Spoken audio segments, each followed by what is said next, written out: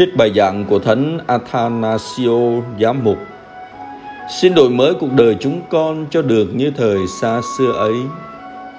Ngôi lời là Thiên Chúa và là lời của Chúa Cha tốt lành vô cùng, Đã không bỏ mặc cho bản tính loài người chìm sâu trong hư hỏng, Nhưng đã hiến chính bản thân để tiêu diệt sự chết Như án phạt họ phải mắc.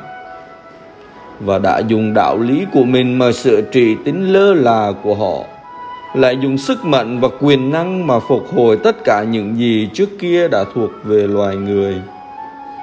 Dựa vào thế giá của các nhà thần học, cũng là môn đề của chúa cứu thế. Ai đọc các tác phẩm của những vị đó cũng đều có thể xác nhận những điều nói trên. Các vị đó nói, tình yêu của đức kitô thôi thúc tôi, vì chúng tôi nghĩ rằng nếu một người đã chết thay cho mọi người thì mọi người đều chết.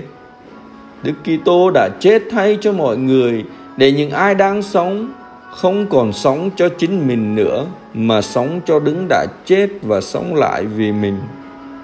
Và một câu khác, nhưng con người đã bị thua kém các thiên thần trong một thời gian ngắn thì chúng ta lại thấy được Thiên Chúa ban vinh quang danh dự là mũ triều thiên bởi vì đã cam chịu tự hình con người đó chính là Đức Giêsu. Tiếp đó, tác giả cho thấy lý do tại sao Thiên Chúa ngôi lời chứ không ai khác trở nên người phàm. Quả thế, chính vì Thiên Chúa là nguồn gốc và cùng đích mọi loài, muốn đưa muôn vàn con cái đến vinh quang, nên đã làm một việc thích đáng là cho Đức Kitô trải qua đau khổ và trở thành vị lãnh đạo thập toàn dẫn đưa họ tới nguồn ơn cứu độ. Qua những lời đó, tác giả muốn nói rằng, nâng loài người xa ngã lên không phải là công việc của ai khác, mà là của thiên chúa ngôi lời, đứng đã dựng nên họ từ ban đầu.